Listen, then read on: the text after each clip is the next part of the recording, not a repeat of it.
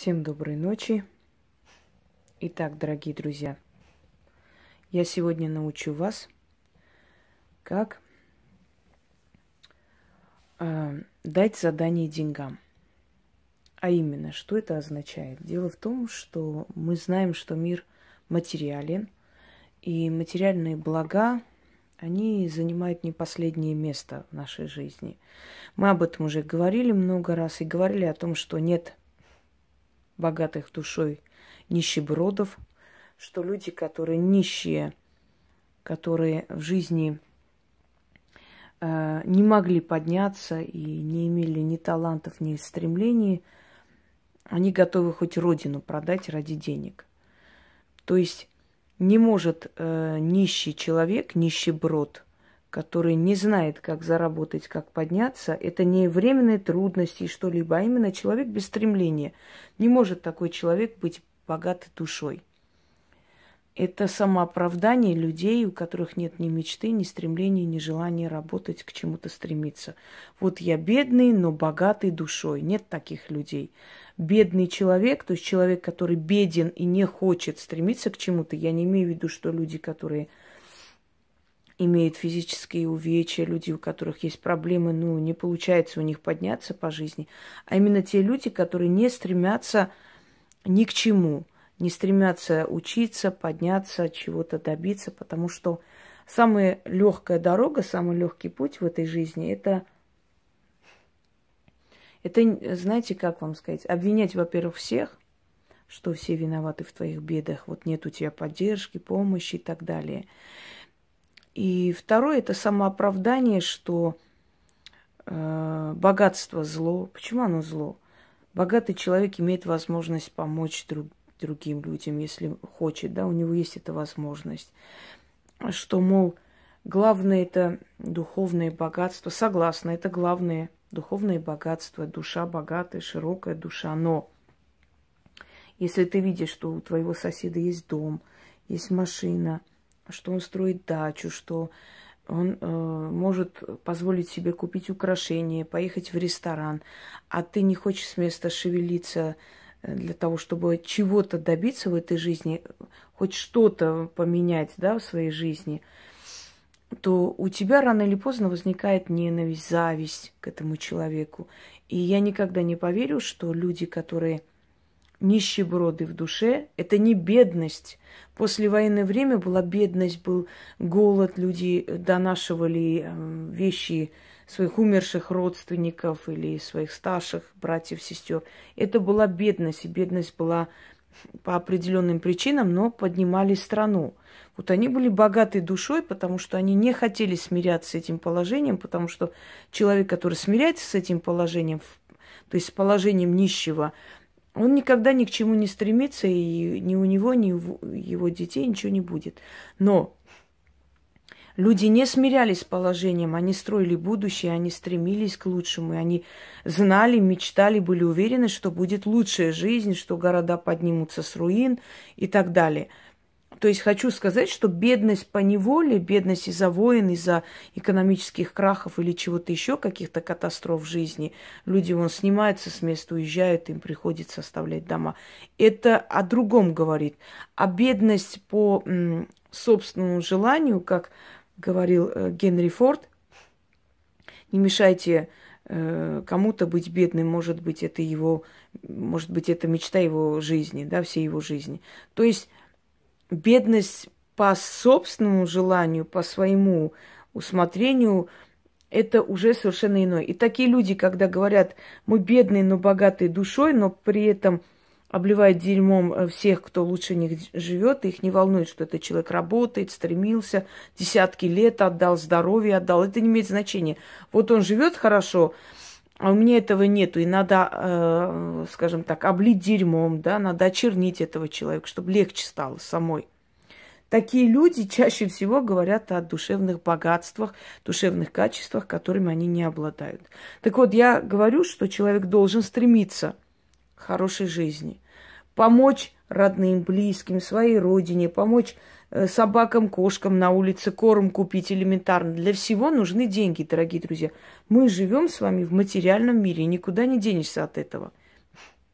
Поэтому, когда я даю много ритуалов денежных, говоря о том, что какой-то ритуал этому человеку подходит, какой-то другому человеку, э, чтобы был большой выбор. Некоторые меня обвиняют в том, что я просто зациклена на деньгах. Идиотизм полнейший. Я хочу, чтобы вокруг меня было много удачливых людей. Я этого добиваюсь. У меня есть сын, который растет в обществе, у него будут свои дети и так далее. Я хочу, чтобы мое поколение, мое потомство, мои дети, да, внуки и правнуки жили в окружении людей, которые стремятся к чему-то, в окружении удачливых, ну, пускай не богатых, но среднего класса населения. Почему бы нет? И я поэтому людям дарю и помогаю, и объясняю. И многие мои лекции, например, закон денег или э, чужие э, несовершенства превращай в деньги и так далее, сейчас не помню, как я точно назвала, я тем самым объясняю, многие люди после моих лекций, после вот бесед и после риту, э, ритуалов, роликов, многие открыли свое дело – Многие начали заниматься различными вещами, многие начали делать какие-то кожаные там, понимаете, все бренды, все фирмы, они все начинали с этого. Я вам рассказывала историю одной женщины, которая просто взяла, сделала красивую майку, там приклеила какие-то камушки, какую-то там мозаику собрала и просто выставила ВКонтакте. И тут же эту майку заказали. И она поняла, что это пользуется успехом. Она начала делать другие.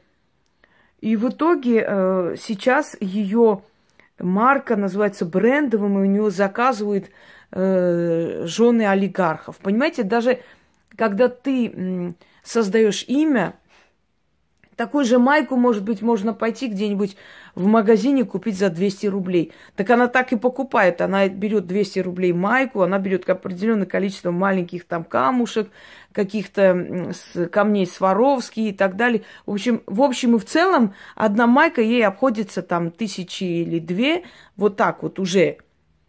И она эти майки продает за 120 тысяч, за 300 тысяч. Его покупают вот эти майки богатые женщины и кичатся перед друг другом, что вот я вот покупаю такую там, такой-то бренд. То есть о чем я хочу сказать вам, что все в этом мире создается, все очень многое, если не все строится на иллюзиях. То есть вещи, которые, я понимаю, есть качественные вещи, есть ширпотреб, да, разница большая, но Например, я знаю вещи, которые ничем не уступают тем же э, вещам, которые продаются в ЦУМе. Я в этом ЦУМе видела такие, ну, просто невероятные цены.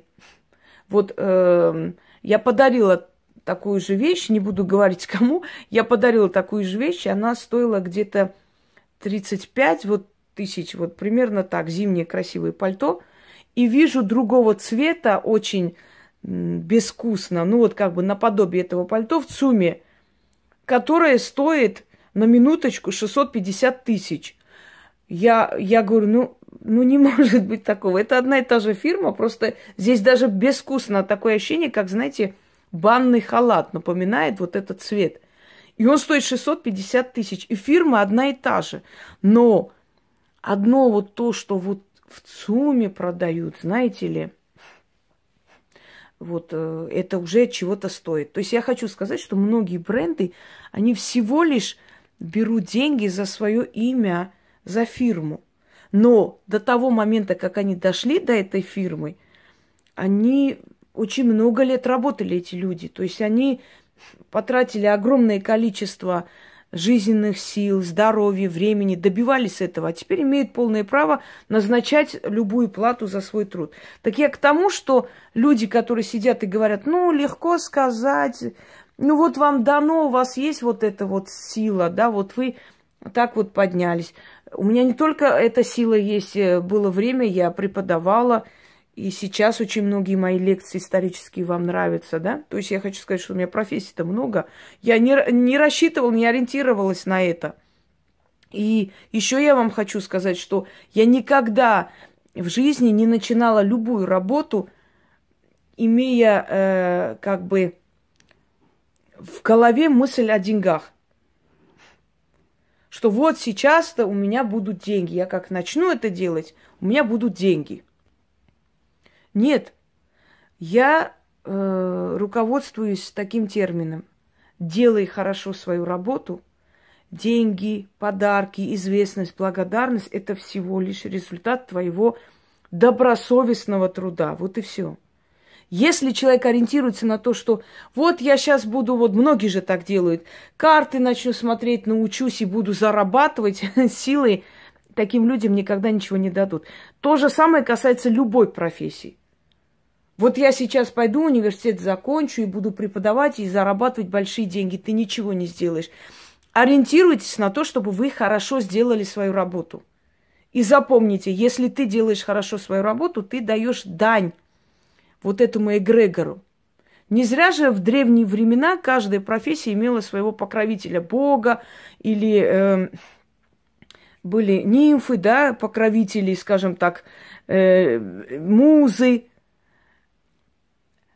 Каждое божество, каждая сфера жизни имела своего покровителя. Ты отдавала дань этому покровителю Э, чем? Своей энергией, силой, временем, а взамен получала деньги, благодарность, дары, хорошее имя и так далее. Вот о чем я пытаюсь вам сказать, что нищий человек, он продаст родину. И не, недавно мы с вами все э, в ужасном шоке для себя это обнаружили, что есть такие люди, которые продают свою родину. Почему? Потому что они нищие духом. Был бы это богатый человек, он бы на такую сделку не пошел. Но поскольку он нищеброд, и он внезапно добрался до власти, он и это сделает. Нету нищих, богатых, э, богатых душой людей. Нету. Не существует. Любой нищий человек, который плохо одевается, плохо живет, не доедает, он всегда будет с завистью, ненавистью смотреть на тех, кто добился чего-либо. Запомните.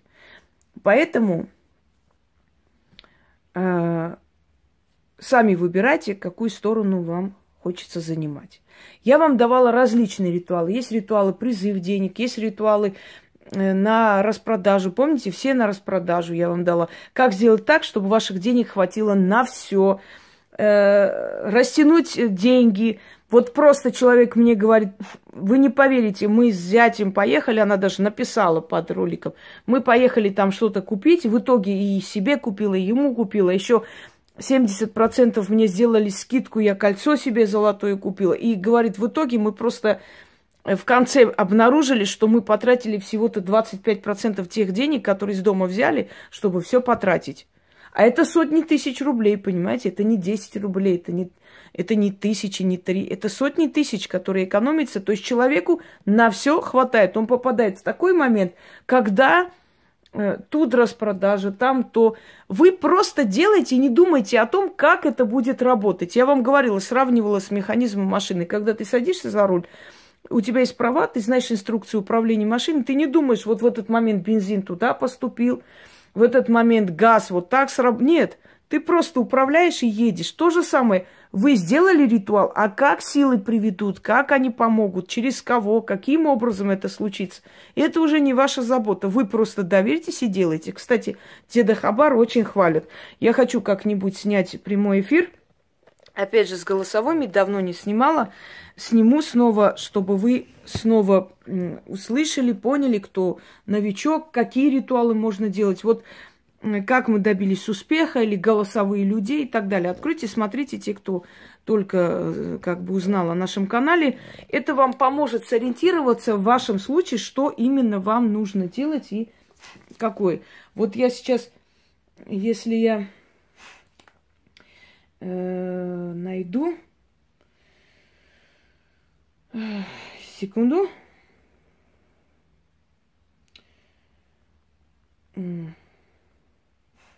Это смс я вам прочитаю. Э, под ритуалом продать дом, машину и так далее. Я сама в это не верила, но все же решила попробовать. Два года не продается квартира моей бабушки. Отдала э, этот заговор своей тетке. Она провела, на следующий день появились покупатели. Тетка меня очень долго ругала за то, что я раньше это не сделала. вы знаете, я вам хочу сказать, вот эти, эти дары, которые всем поперек горла, то, что я получаю, вы не представляете, сколько мне э, пишут и просят мою карту и так далее, чтобы отблагодарить. Я всегда говорю, я дарю эти работы. Но если люди хотят это делать, это их право. Но я никогда не давала никому, вот, положите мне на карту и так далее. Если отправляли через Яну, просили или что-то заказывали мне. То есть, почему это делалось? Будут ли люди просто так дарить тебе, если твои работы им не помогут? Понятное дело, что нет. Это уже о чем-то говорит. Так вот, я говорю о том, что человек востребованный, ты хороший визажист, ты делаешь маникюр, прически, торты печешь, неважно. Если ты профессионал, ты добьешься успеха. А те, которые сидят и плачут, вот просто элементарно, я вам сейчас скажу, ой, что делать, вам легко сказать.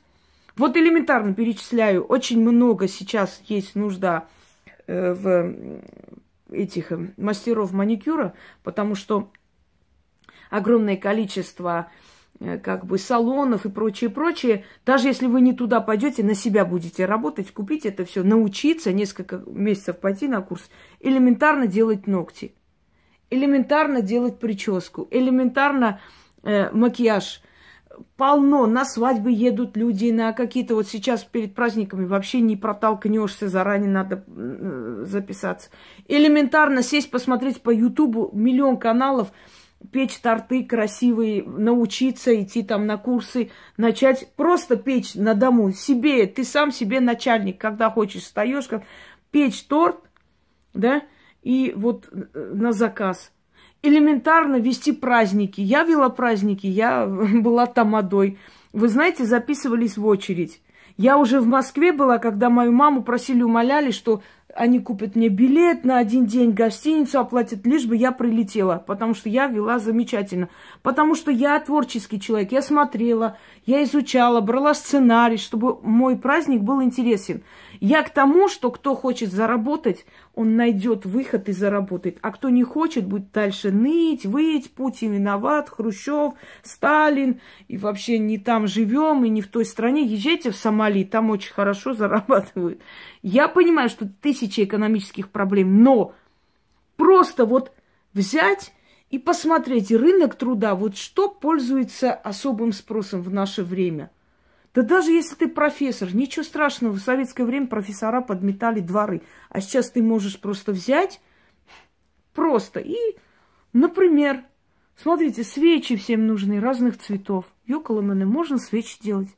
Интересные, посмотреть технологии, взять, сделать. Что нужно людям еще?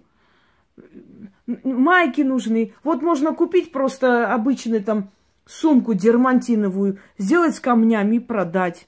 Вот так вот красиво там сделать какую-то картину оригинальную. И кому-то захочется вот именно такую сумку, которой ни у кого нет. Сейчас век мастеров. Если раньше были вообще вещи невероятные, их нужно было хрен знает откуда заказывать. Сейчас, пожалуйста, вот все, что вот вы видите, это работа мастеров. Вот это вот шкатулка, вот эти все украшения, это ювелирные, именно вот как бы личные, так э, на заказ сделанные, да, видно, что их несколько штук. Вот, пожалуйста, шкатулка. Что вам еще показать? Свечи, которые тоже продают, делают уже. Вот этот алтарь э, славянских богов, куклы, ну, это понятно, что это как бы а, специальная фирма, но ну и есть мастера, которые не хуже делают такие красивые вещи. Ну, вот, вот посмотрите, просто все, что вы здесь видите, это работа мастеров. Может, кому-то чучело нравится, он заказывает.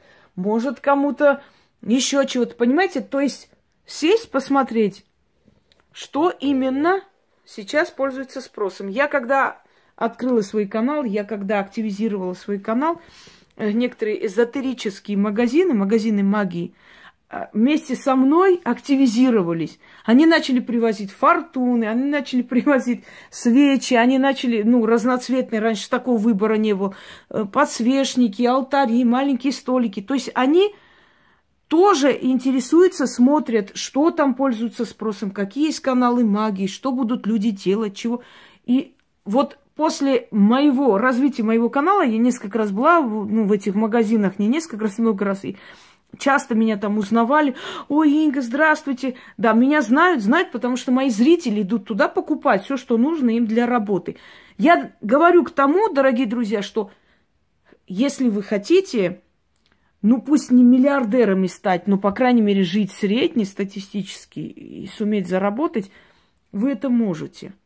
Я знаю девочек, вот э, мои хорошие окружение, знакомые, друзья, да, могу и друзьями назвать, давно общаемся, и замечательно себя порекомендовали эти девочки. Человек работает, э, чертит там на чертежах, она уже добилась успеха, она старается. Второй человек, она и косметологом, и парикмахером себя испробовала. Замечательно, между прочим, очень большие, скажем так, очень большие успехи делает – не останавливаются люди на достигнутом и на одном вот месте. Идут вперед. Все, эта маленькая лекция закончена. Некоторые не любят, когда я что-то говорю, ой, быстрее бы там ритуал. Э, вы знаете, вы не мои зрители, вы идите быстрее где-нибудь сделайте, и поверьте мне, быстрее ничего не бывает в жизни. Быстрее бывает только всякое дерьмо, это очень быстро. А если хотите что-то ценное, нужно время, нужно понять, нужно вникнуть, послушать человека умного, и тогда поймете, как добиться успеха в жизни. Теперь, дать задание деньгам. Вот вы хотите что-то купить, хотите мебель, хотите э, ремонт сделать, машину купить новую, не знаю. Вы примерно рассчитали, сколько денег вам нужно. Потому что без этого никак. Вы даете задание деньгам, они вам приведут новые деньги. И вот эта сумма, которая вам нужна, пишите, вот я пишу например, 3 миллиона рублей. Вот так вот я решила, сейчас мне вот так нужно. Я хочу к весне начать, э, скажем, строительство вот второго этажа. Дальше в этом году не хочу, потому что высокосный год это не самый лучший год для начала каких-то мероприятий. Это будет долго длиться. Вот, я хочу второй этаж сделать, как я хочу, и все остальное. То есть э, добавить все, что мне надо. И как это сделать? Я примерно рассчитала, я хочу на 3 миллиона. Можно, конечно, поскромнее, но поскромнее не хочу. Раз я решила сделать тот дом, который я хочу, дом моей мечты полностью, значит, мне нужно лучше сделать, даже больше, чем я хочу. И для этого я хочу 3 миллиона рублей. Вот я так решила. И что будем делать? А, будем делать следующее. Эти деньги накопятся за короткое время. Потом я еще раз проведу, еще раз накопится. И к весне у меня будет намного больше, поверьте мне. И я начну это строительство без страха, без переживаний, я все сделаю. Это все будет каким образом происходить с помощью, то есть благодаря моей работе, моим стараниям. С воздуха они не упадут. Но оно получится берете одну купюру. Лучше, если на этой купюре пятерка. Вот 5 долларов.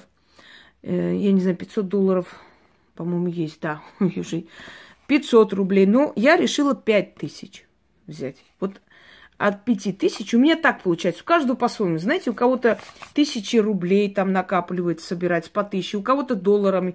У меня приходит долларами, но э, я перевожу в рубли. То есть таким образом у меня накапливается. У каждого по-своему. Неважно, где вы будете копить, лично в, в руках или на карту, но оно придет через этот, вот эти деньги. Эти деньги не тратьте. Ну, когда ваша мечта осуществится, оно вам уже будет не нужно, можете потратить. Три раза в месяц вам нужно провести этот ритуал. Нужна зеленая ткань, зеленые свечи. Э, кладите рядом атрибуты богатства, ну, скажем так, украшения и прочее. Зеленый. Проводите этот ритуал три раза. Сейчас извиняюсь Этот ритуал проводите три раза в месяц. До того момента, пока ваша мечта не осуществится. Когда осуществится, можете это потратить, можете просто оставить и так далее. Каждый раз зажигайте три зеленые восковые, обязательно воск. Потому что в этом ритуале это, э, знаете, когда свечи парафиновые, как правило, это значит, что я делаю акцент больше на энергию огня. Неважно, откуда это, эта энергия получается. От свечей, можно даже какой-нибудь другой источник огня, да. Но если нам нужно именно сила земли, вообще э, воск, поскольку воск это сила природы. Откуда берется воск? От цветов. Да? Воск. Зеленый воск нужен. Вам нужна шкатулка. Внизу пишите ручкой ту сумму, которую вы рассчитали. Неважно, когда оно придет. Но оно обычно приходит, смотря какая у вас профессия, если вы на себя работаете за короткое время. То есть в течение полугода оно точно к вам придет. Но рассчитывайте на свои силы. Не пишите там миллиард долларов, если вы, например, сидите э, на пенсии дома и ничем не хотите заниматься. Силы вам с воздуха не дадут. Некоторые идиоты говорят, вот сейчас упадут с воздуха. Нет, не упадут. Они вам дадут через вашу работу, через клиентскую базу, если вы что-то продаете, через э, какие-то премии, через какие-то подарки и так далее. Они вам дадут. Но не просто так с воздуха, а благодаря вашему труду. Но если у вас нет благословения и помощи сил, то вы можете работать 24 часа в сутки, вы ничего не получите. Э, ритуалы, они рассчитаны на то, чтобы ваша работа дала быстрый и лучший результат. Берете эту купюру, нужно положить сюда. Так, я сейчас извиняюсь, вот таким образом. Читайте это шесть раз. Я как-нибудь помещу. Потом закрывайте и прячете. И в течение некоторого времени у вас будут приходить. Если кто-нибудь увидит, вам нужно будет повторить этот ритуал. Никто не должен видеть, кроме вас. То есть, если вы спрятали, да? Э, в течение некоторого времени, ну, три раза в месяц, э, не забывайте это повторить. Через, через, через некоторое время, за короткое время, эти деньги к вам придут. На карту ли придут, или так придут, неважно. Можете ли вы те деньги, которые приходят, в эту шкатулку класть? Нет. В другой шкатулке собирайте, а это оставляйте. Она, пространство должно быть. Эта деньга должна притягивать другие деньги. Поскольку у нас мало времени, я прочитаю один раз. Ну, может, два раза, если хватит времени. И вы поняли, каким образом. Свечи потушите – Просто выкиньте, ничего не надо делать. Когда ваша мечта сбудется, вы соберете эту сумму, вы сядете, посмотрите, что она собралась. Э, на эту сумму сделайте кому-нибудь добро. Я не знаю, там собакам отправьте какой-нибудь приют, какой-нибудь бедной семье отдайте, кому-нибудь подарок сделайте, но не близким родным, а совершенно другим людям. Или оставьте какую-то сумму денег там на скамейке на улице оставьте – обязательно возьмет человек, который, у которого есть нужда. Бабушки ваши, может, есть рядом соседские, купите продукты ей, относите. Что-нибудь, какую-то часть этих денег, там тысячи рублей, две, потратьте на доброе дело. Откупайтесь, чтобы вам еще раз давали. Как только мечта исполнилась, вы откупились, ритуал теряет силу. Вам приходится снова повторить. Делайте это. Дайте задание вашим деньгам, чтобы ваши деньги не просто там туда-сюда тратились, а целенаправленно духи направили ваши деньги на вашу мечту. И тогда вы заметите, что ваши деньги вам начинают служить. Они просто приходят и куда-то деваются. Начнем. Деньга, деньга, деньга. Я к тебе поток новых денег призываю. Говорю и заклинаю. За семь золотых гор протекает река Златница, Златица. Гонит ко мне волной песок золотой. Стекайся, богатство, и к деньгам моим прилипни. Приумножь мои деньги для особого дела. Приумножайся, деньга, расти, деньга, сундуки мои наполняй. И задание мое исполняй. Я даю задание тебе, деньга. Соберись сил наберись и через свое множество помоги мечту осуществить. Называйте. Хочу получить 3 миллиона рублей. Я свое называю. Даю деньгам наказ, даю деньгам приказ. Хочу 3 миллиона рублей. Исполни мое желание, так и будет. Истинно. Вы можете даже сказать, например, хочу сделать ремонт. Но это будет неопределенно. Силам нужна определенность. Вы должны точно, четко сказать, сколько вам денег для этой мечты нужно. А лучше сказать, сколько вам денег нужно. Остальное вы сами решите, как, как эти деньги использовать. Еще раз давайте прочитаю. Деньга, деньга, деньга. Я к тебе поток новых денег призываю, говорю и заклинаю. За семь золотых гор протекает река Златица, гонит ко мне волной песок золотой. Стекайся, богатство, и к деньгам моим прилипни. Приумножь мои деньги для особого дела. Приумножайся, деньга, расти, деньга. Сундуки мои наполняй и задание мое исполняй. Я даю задание тебе, деньга, соберись, сил наберись и, и через свое множество помоги мечту осуществить. Хочу три миллиона рублей. Даю деньгам наказ, даю деньгам приказ – Хочу три миллиона рублей. Исполни мое желание. Так и будет. Истинно. Вот так вот. И потом в конце закрывайте. Вам читать нужно шесть раз, не забывайте. Неважно, если даже там не помещается особо, это не важно. И эту шкатулку куда-нибудь спрячьте. Как только наберется, наберется за короткое время, тем более я сказала, если вы на себя работаете – как только наберется, откупайтесь добрым делом.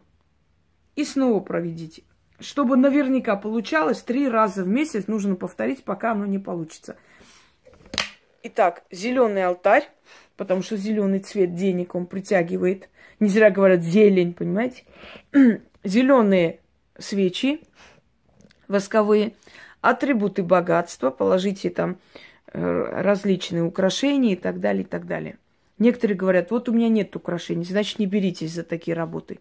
Сначала делайте попроще, когда накопится, тогда уже побольше. Потому что сразу большие деньги, большие богатства, большое имущество вы не притянете таким образом. Вы сначала должны приучить свою энергию к энергии денег. А для этого вы должны постепенно подниматься. Сразу министром уборщица не станет. Сначала она станет там заведующий отдела и так далее будет стремиться к этому. То же самое. Резко прийти, сделать ритуалы сильные на богатство и считать, что ты разбогатеешь, нет. Идите к этому постепенно. А кто уже шел и знает, как они работают, смело берите и проведите этот ритуал. И за короткое время ваша мечта осуществится. Всем удачи. Да, и живите богато. Это нужно не только вам, ну и окружающим. Вы обязаны быть богаты. Чем больше будет богатых людей вокруг нас, тем спокойнее будет наше будущее. Вы обязаны быть богатыми. Всем удачи!